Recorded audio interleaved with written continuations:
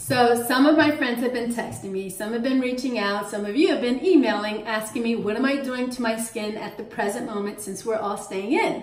So this is what I'm doing. Season to season, it varies because our skin changes based on the climate and the weather and where we are. But since we're just inside, I'm not exposed to any free radicals, no toxins, and no pollutants. So my skin routine is a little different. So what I do is I do not wash it at all. I apply water to it two times a day. I shower twice a day so my face gets wet. When I get out of the shower, the bath, whatever, I blot dry my face. I like to use tissue that is not treated with any chemicals, no perfume, no scents.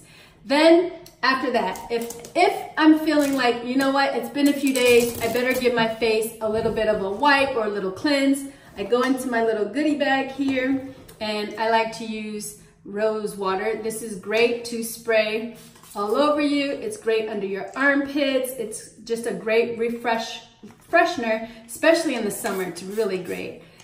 And someone like me who doesn't wear deodorant, this is what I go to as well.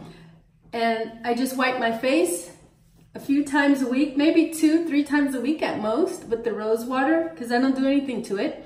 And then go in my goodie bag. Believe it or not, I like to use oil. I'm using avocado oil and I also switch it up and go between coconut oil and olive oil and avocado oil. Enjoy, that's what I'm doing. Erica Reid, Nécessité TV, and the little mother's blend oil goes on the body. Ciao!